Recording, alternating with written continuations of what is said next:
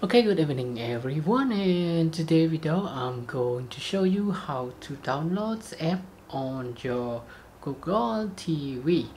Okay, as you can see on the table now, this is the connection Chromecast with Google TV OS to the TV. And now to download the app, you need to select the apps here and then go all the way down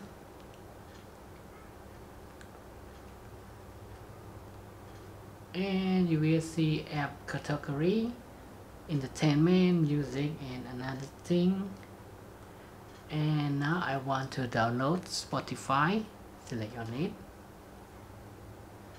and you just press install. And please take note that you need to log in your Google account to your TV before you can get downloading the file from the App Store to your TV and now it's already done. Just press open that app.